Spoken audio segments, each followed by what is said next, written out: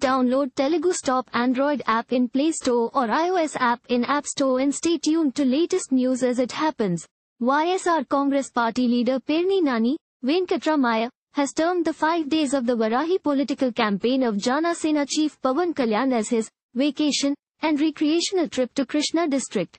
Pawan's words are not liked by Janasena party workers as he came to the rescue of the Telugu Desam party, the MLA said. He said that if Naidu and Lokesh were honest, they should face a court-monitored investigation into their assets.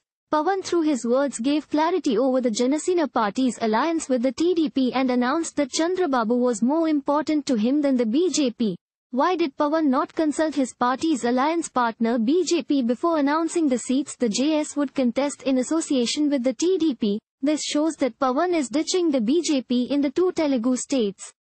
Refuting the claim of Pawan about fighting against YS Rajasekhar Reddy, the former minister said Pawan Kalyan was never active in politics during the YSR term and he is now trying to spread lies among his cadres.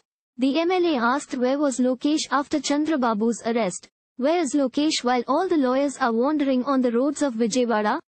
Did Lokesh go to Delhi to lobby for the release of Chandrababu from jail?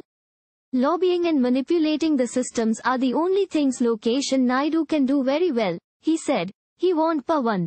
We will not tolerate if you don't control your tongue and talk loose against Jagan. Thank you for watching. Please subscribe to channel and click on bell for more daily videos.